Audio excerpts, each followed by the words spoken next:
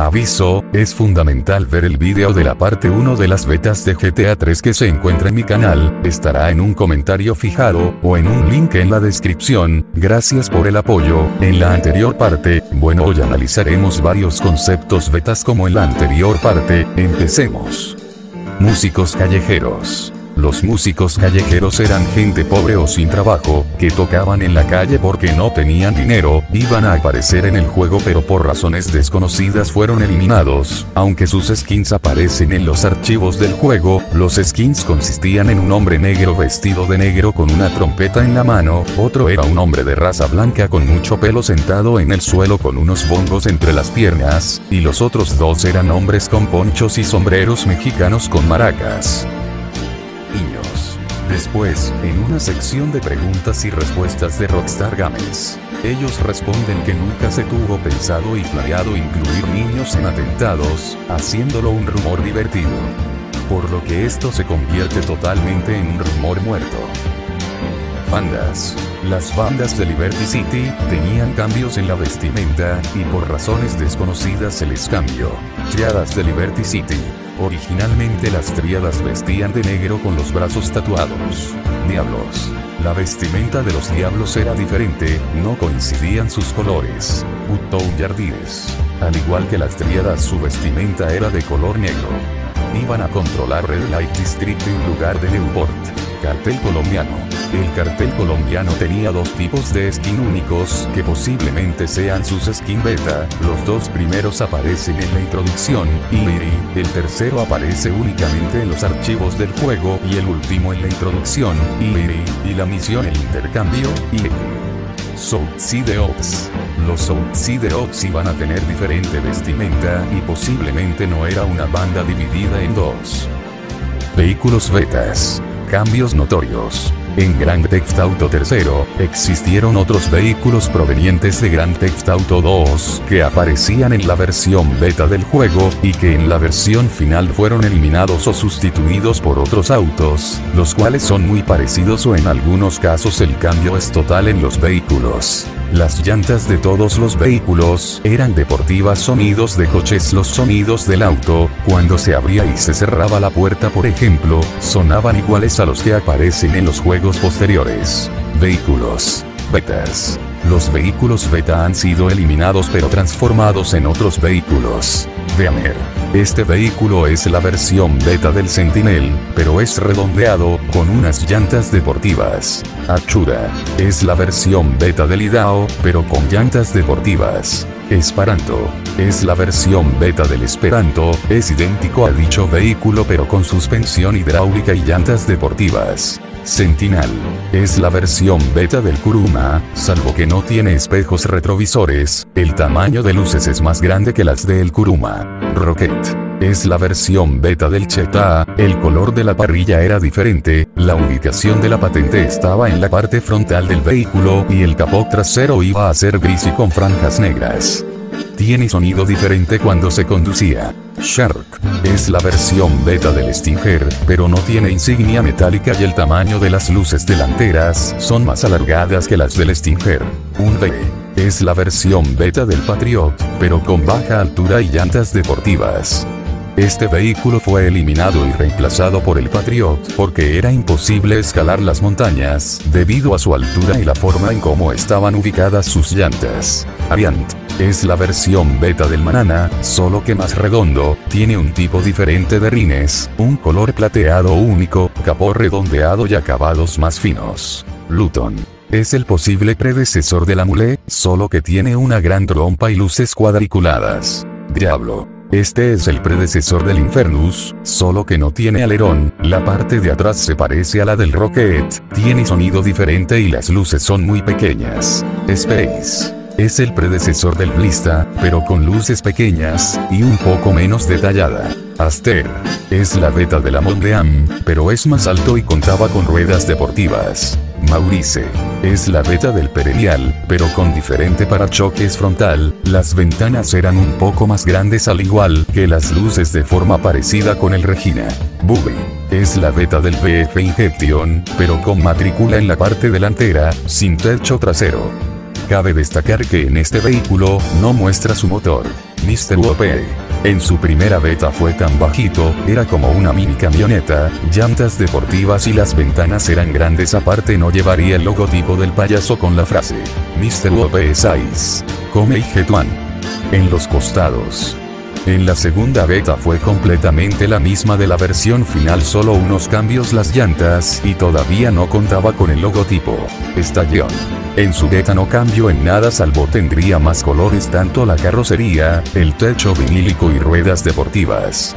Boca de la caja trasera tiene pocos cambios, fue originalmente gris en vez de colores variados, las luces eran redondas y lleva llantas deportivas. Aparte su tracción fue baja como el diseño de Liberty City Stories. Sus texturas beta se hallan en archivos del juego. En los primeros inicios era llamado Uger Truck como se muestra en la página oficial de Capital Autos. Coach originalmente tiene otras empresas y contaba con más colores. Landstalker. Los embellecedores eran blancos y las luces frontales eran redondas, esta beta se la halla en el anuncio de la Maibatsu Corporation. Originalmente se creía que pudo haberse llamado Monstro City como anunciaban en la radio. Otro beta es que fue la misma pero teniendo otras llantas, como los taxis. Securicar originalmente no tenía el logotipo de Group Search y se llamaba Security Van.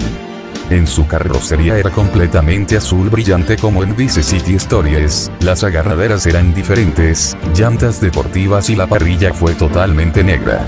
Stretch. En la primera beta se ve que el stretch era distinto.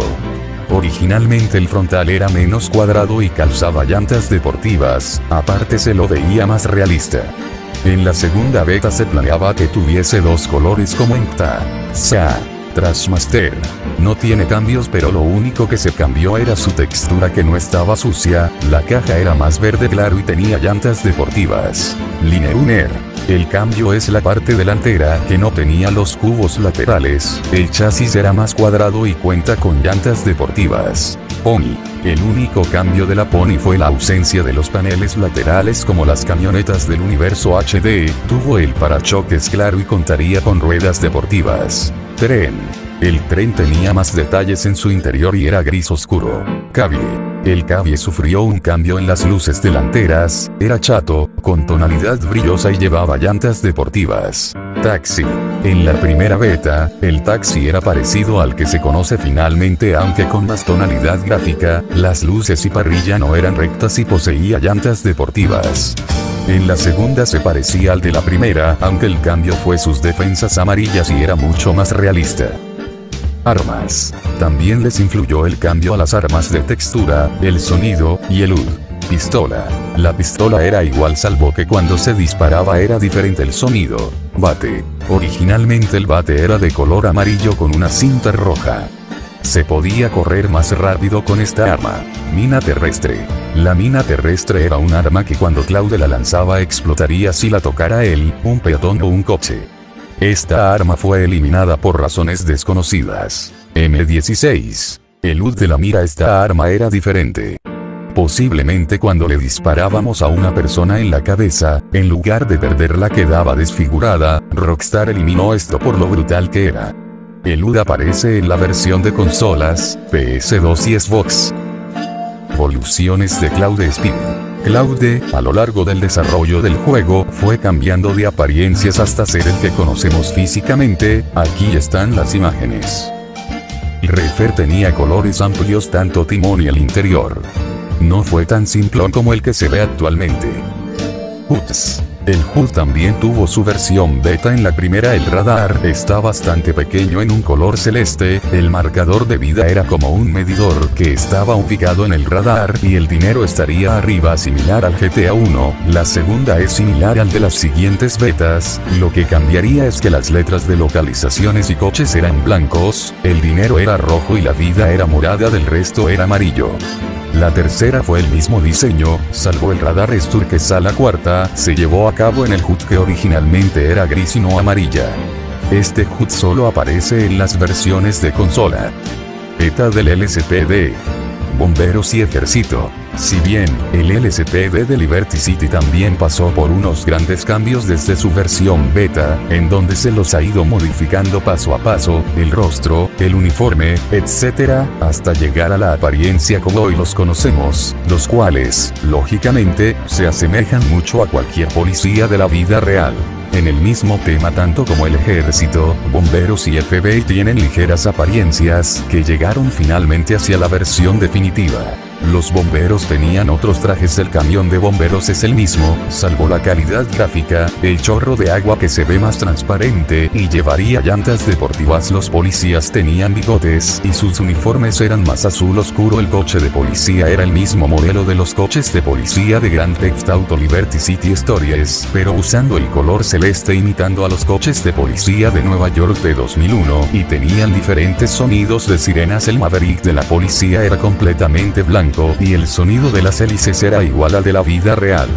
La textura de las hélices eran diferentes. El Predator tenía el timón celeste y no era muy simplón. El Enforcer originalmente era de color celeste. El FBI originalmente tenía cabello rubio, llevando unas chaquetas azules con la palabra FBI atrás, y pantalones negros. La FBI Cruiser sería la misma variante pero tenía un color negro, más brillante. El Barrack no era muy oscuro, sino más claro y la parrilla fue distinta. El Rhino en principios tempranos fue como un tanque antidisturbios, con el AC, con un color verde pistache, llantas deportivas, y el camión era detallado.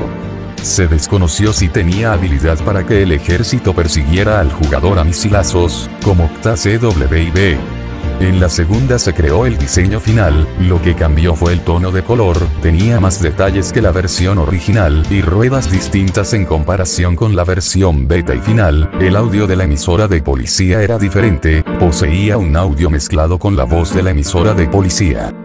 Eliminados. Panto. Este vehículo iba a aparecer en el juego, pero por razones desconocidas fue eliminado, es un sedán pequeño de cuatro puertas. Brigand. Este vehículo iba a dar luz en el juego pero fue eliminado por razones desconocidas.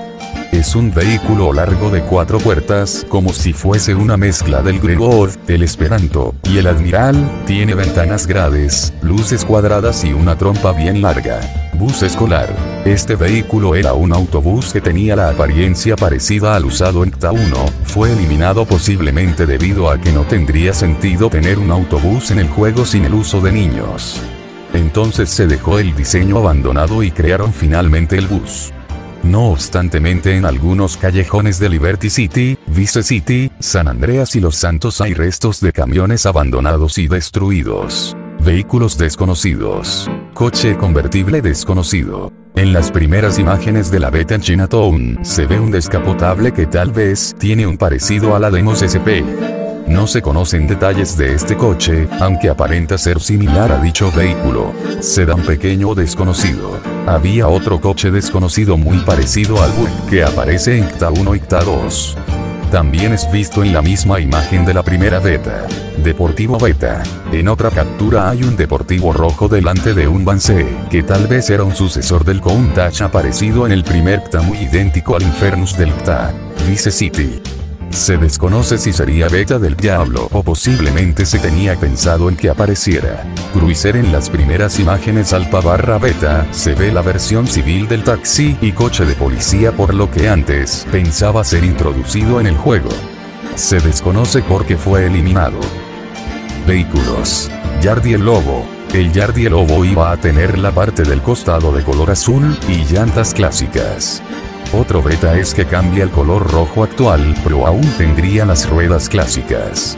Iba a ser llamado Lobo, Diablo Infernus. Este vehículo era la versión beta del Diablo Stallion, este vehículo era utilizado por los Diablos, posiblemente era un Infernus, se llamaba Diablo originalmente, pero adaptado para los Diablos, este vehículo fue eliminado posiblemente porque no corresponde que los vehículos deportivos anden circulando por Portland. Como curiosidad su existencia fue revelada porque en la misión reunión de coches de gangsters, King Courtney en lugar de decir, Diablo Estallón, dice, Diablo Infernus, que no fue un error de subtítulo sino que es el audio original. Yakuza Stinger originalmente el Yakuza tenía el color brillante. Cruiser del cartel. La cruiser del cartel iba a ser de color negro y se llamaría Columbia. Mafia de Amer. Este vehículo es la versión beta del Mafia Sentinel, pero sin alerón y era más negro brillante que gris. Este vehículo fue eliminado y se pasó a llamar Mafia Sentinel, porque al Beamer se le cambió el nombre a Sentinel. Estaciones de radio. Gear Radio. Gear Radio originalmente iba a tener el logo diferente, la palabra EAD estaba en color rosado. Iba a tener una música llamada Back to the Stretch de Tom Novi, pero se eliminó junto a este personaje, como lo vimos en la anterior parte. IP 106 FM. LIP 106 originalmente tenía letras negras y no tenía sombra. Su nombre original posiblemente era KBDDF Radio. Músicas. Maridancin, Wachimov. Caja. El logo de caja era diferente. Double Clef FM. El tema Omio Babino Caro es removido en versiones posteriores de PS2. Esto incluye PC, Xbox, etc. Galería. Otras betas. Curiosamente también nos encontramos con algunas otras imágenes betas del Grand Theft Auto 3 las cuales se ubicarían en esta sección.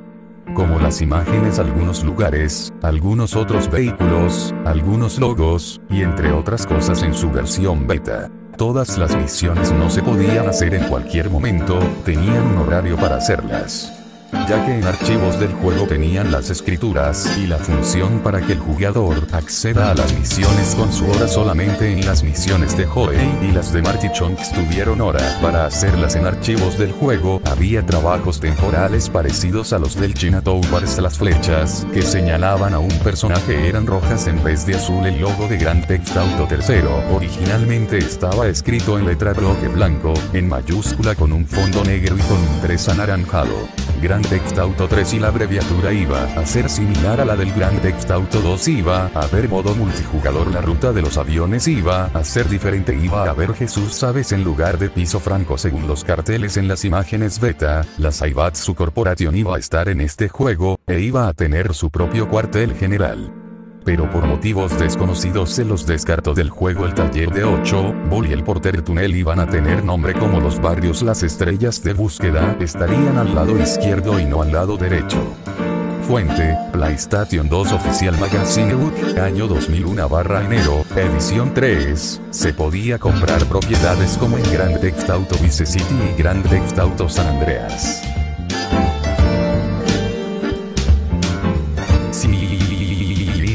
Al fin acabamos esta película prácticamente XD, bueno, les recomiendo ver la parte 1 de este video para agarrar más información, los amo, XD XD XD el próximo video será algún tema random, o continuando con las series de becas de GTA Caribe Contenta, adiós amigos.